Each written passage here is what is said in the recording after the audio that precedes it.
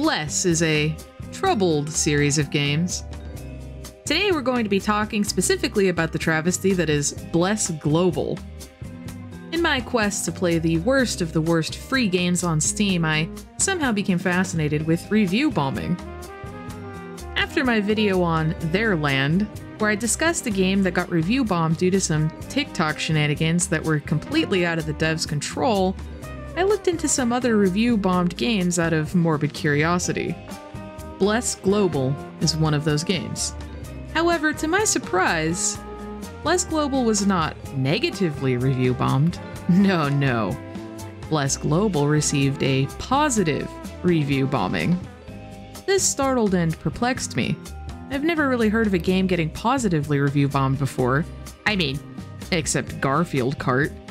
But let's be real, anyone who thinks Garfield Kart doesn't deserve this score is being unserious. As it turns out, Bless Global was positively review bombed so hard that Steam had to at one point completely purge all of the reviews when the game was temporarily unlisted from Steam.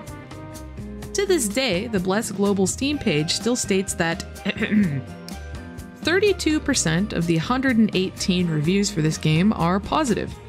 This product has experienced one or more periods of off topic review activity. The reviews within these periods have been excluded from this product's review score. What in the hell happened?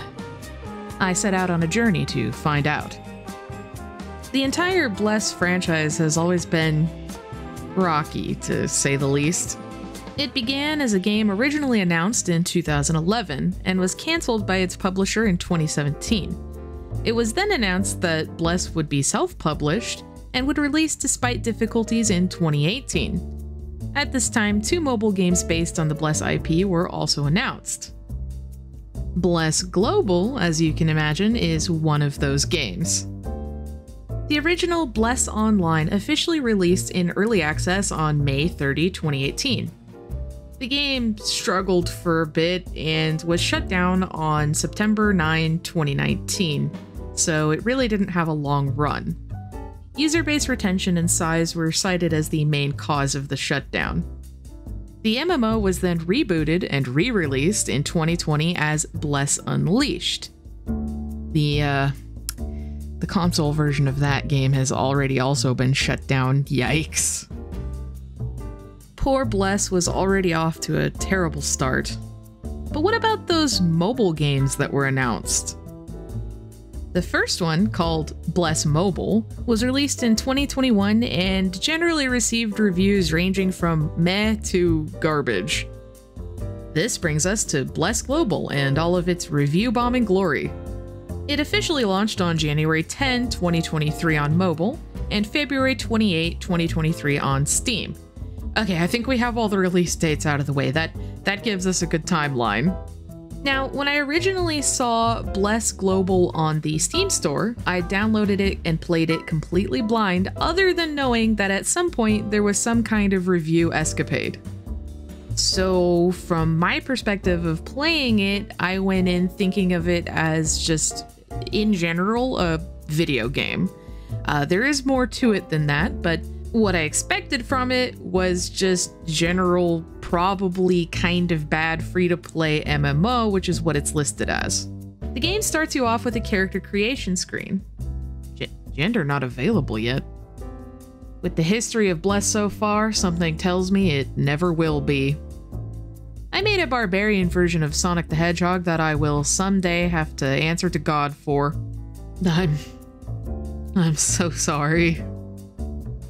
Now, obviously, just from the launcher and the general UI of the character creation screen, I was kind of getting mobile port vibes, but I didn't really know what to expect. I certainly didn't expect the game to start playing itself the literal millisecond I entered the world. Now, I I'm a certified mobile game hater, so I don't play a lot of them.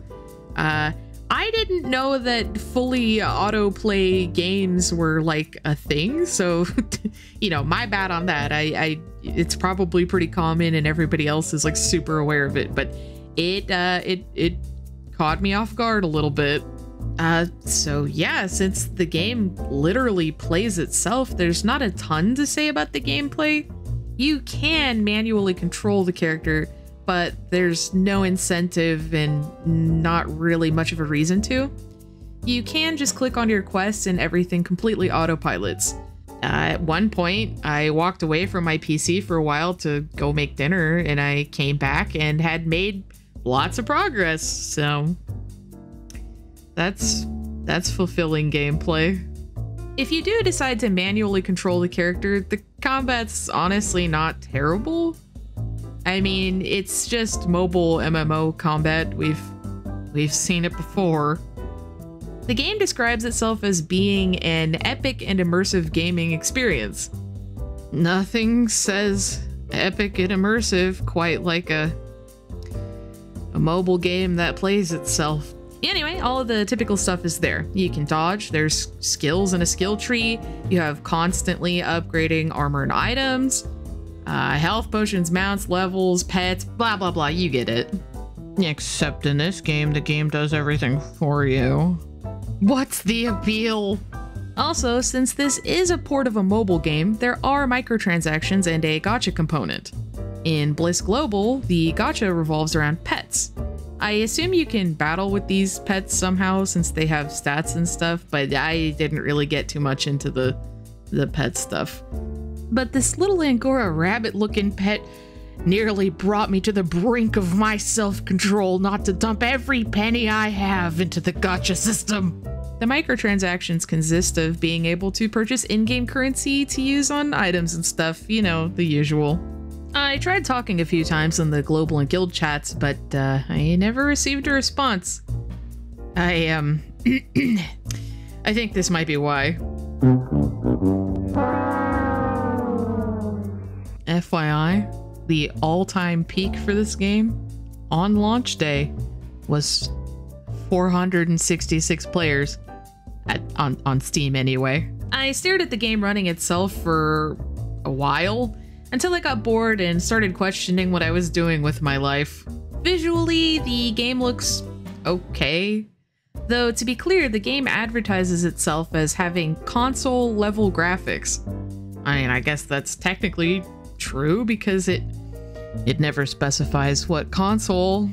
The music is actually pretty nice, but I it's certainly not memorable. Like if I heard one again, I, I wouldn't be like, ah, that's that song from from Bless Global. The story is complete actual nonsense, uh, at least in the English translation. It's definitely not the epic storytelling that the marketing claims. But I mean, who knows? Maybe the original Bless story that it kind of derives from is is pretty cool. I don't know. It it might be. So there isn't really that much more to say about Bless Global on its own. Honestly, the history of travesties that Bless as a series has had is more interesting than the not great PC mobile port of that that is Bless Global. But uh, we are missing some context here. Context heavily related to that positive review bomb we talked about earlier. You see, Bless Global is the world first AAA GameFi MMORPG. Uh, according to itself. I didn't know what that meant, but Google assures me that apparently it means that there's some crypto and NFT tomfoolery afoot. Huh. Doesn't that usually lead to negative review bombs? Okay, now I really need to know what the hell's going on here. Now, bear with me. I do not know anything about NFTs or crypto, and there are very few sources that will explain it to me like I am five years old. So, uh, sorry if I get anything wrong here. The game has blockchain technology that revolves around obtaining a resource called Chorustal. Chorustal can be used to earn the big boy battle points or can be minted into a BLEC token, these tokens can be used to purchase mystery boxes that contain NFTs. You can also straight up purchase these mystery boxes as well. Apparently, the game refers to this as a play to earn type of thing, but uh, I kind of doubt anyone is making any money off of Bless Global NFTs. I mean, maybe I'm wrong and business is booming, but I just. I kind of doubt it. Now, we run into a problem here as Steam does not allow crypto and NFT games to be listed on its platform. This caused enjoyers of the mobile version of the game to wonder how in the hell is this going to work? Players asked, How do I use the NFTs slash blah I have minted in the PC version of the game? Bless Global responded, For now, you can't use them while playing on PC. But you can do so in the mobile version, as game progress of the same account is synced across devices. So essentially, as you progress and level and earn things on the PC version of the game, in order to use the crypto and NFT stuff that you earned, you do have to hop onto a mobile version of the game to be able to uh, use it. So it, that seems to me like it's kind of just barely getting around Steam's rule about not having crypto and NFT games because realistically, at the end of the day, when you're playing this game on Steam, you're still earning and working towards crypto and NFT. So, I mean, it is still kind of an NFT game.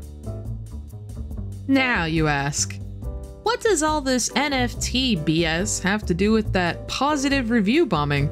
Why, I'm glad you asked. It's quite interesting.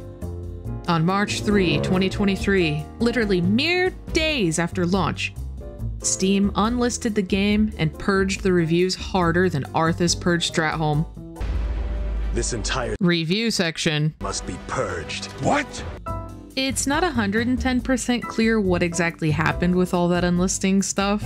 On the Steam page, it kind of was implied that the unlisting was mutual between Steam and the developers, However, on the Discord, the developers were clearly scrambling trying to figure out how to get in contact with Steam to make sure that it gets relisted. So it didn't really seem to actually be a mutual thing.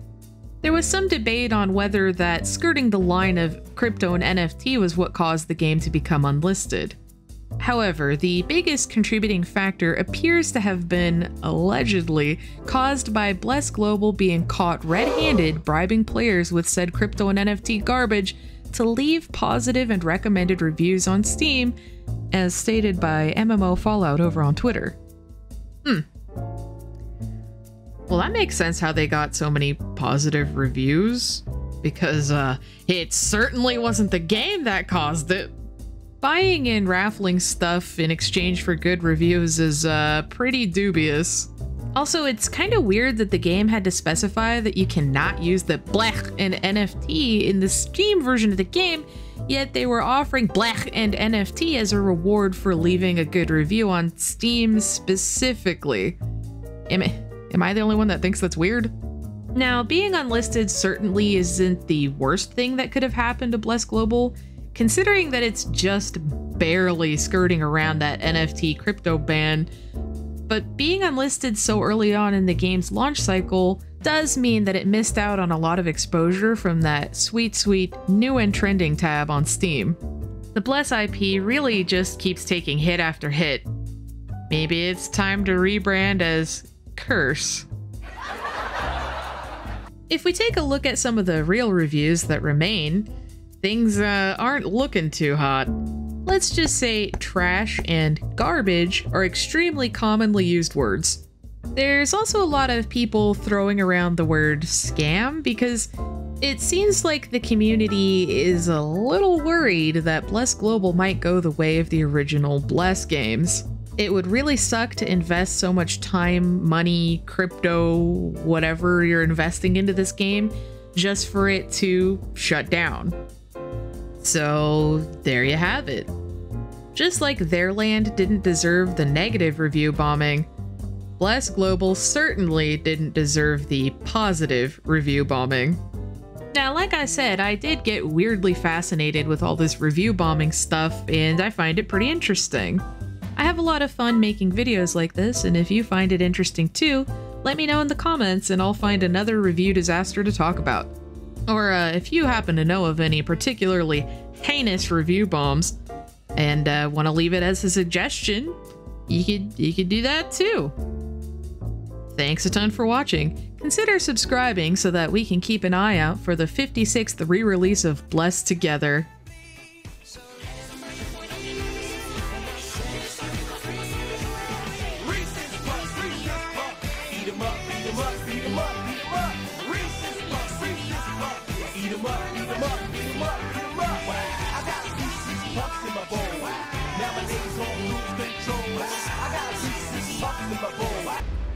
This entire Review section. must be purged. What?